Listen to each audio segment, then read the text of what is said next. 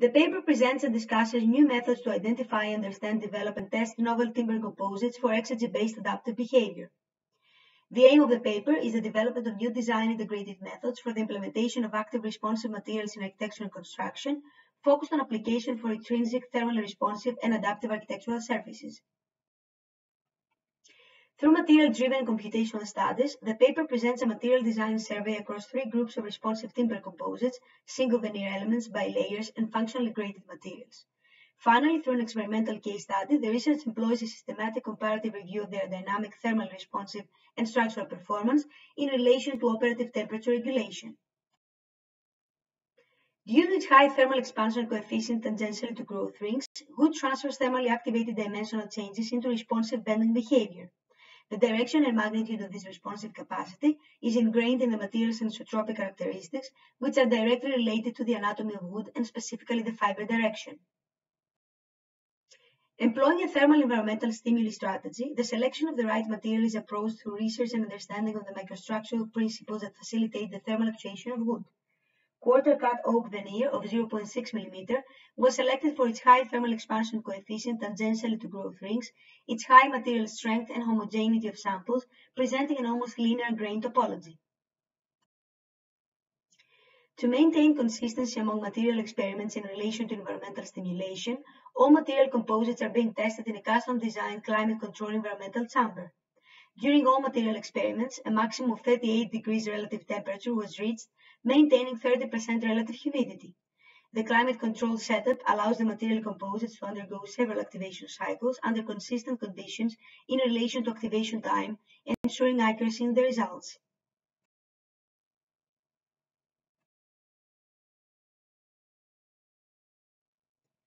The experimental material studies use single veneer elements of 0.6 mm thickness and are based on variations in fiber directionality and material layout. The studies are organized across five fiber direction angles and are combined with three material layouts based on square, rectangular, and triangular configurations. After being thermally stimulated, the material responds by dissipating the stress into an elastic deformation perpendicular to the fiber direction, expressed as bending.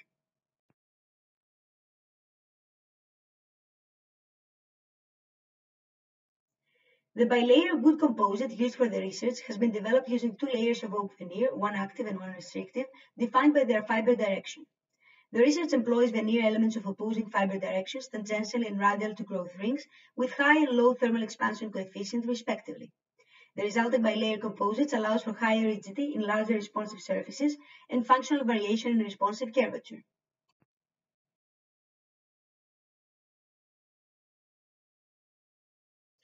In a functionally graded material, both the composition and the structure gradually change over the volume, resulting in corresponding changes in the properties of the material. This is achieved when two different material ingredients change either gradually from one to the other or when this transition is performed in a discontinuous way. The research employs a stepwise gradation process to form high-resolution wood composites using gradual material layering deposition of various grain directionality oak veneer. This material distribution allows for local control of bending stiffness and direction. In the presented prototypical method, binding of the oak layers occurs in the form of local customized PLA snap joints, allowing for control of moving freedom between the elements as well as reuse of the same elements in other geometrical configurations.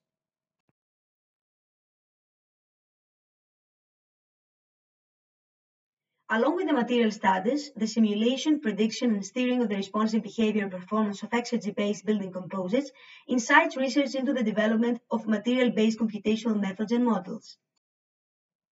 The form finding of the reactive elements occurs by assigning the grain orientation of each fiber into weighted values for hinges along the internal edges of the triangulated mesh, corresponding to the material layout. The resultant vertex map of graded weighted values is being informed by the thickness and elastic limitations of the material. The simulation is then recalibrated based on measurements from the physical experiments with the use of an infrared camera for real-time object tracking and point cloud expert. The accuracy of the simulation at this level can be up or down sampled by changing the resolution of the mesh topology, eliminating the deviation between physical and digital tests.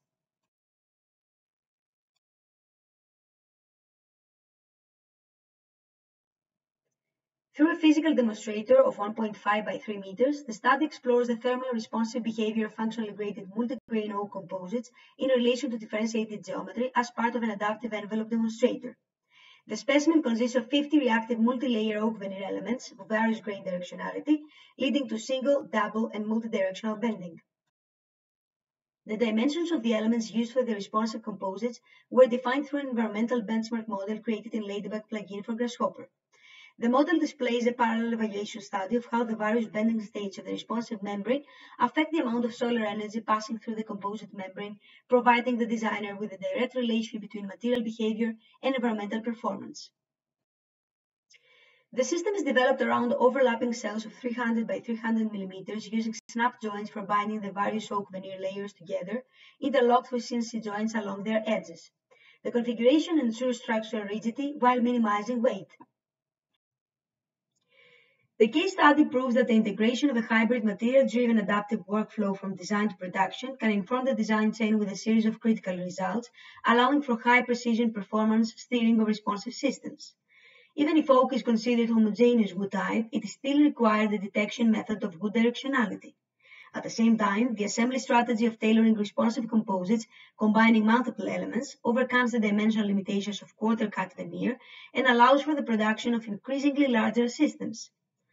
Material calibration over production as well as material fatigue can affect the operational life of the system and should be included within the design process. The case study is a limited inquiry and further work is needed to evaluate the performance of the exergy-based building composites for the development of adaptive material systems across multiple samples and scales with different strategies of differentiation. Further exploration leads to cure for the development of adopted and adapted design methods that can interface various resolution data between the prototypical material studies, the computational model, and the fabrication process. Finally, along with the various grain material deposition that is being investigated in the presented study, the shift towards a multi-material layering could introduce new hybrid properties in the responsive architectural system. Thank you very much.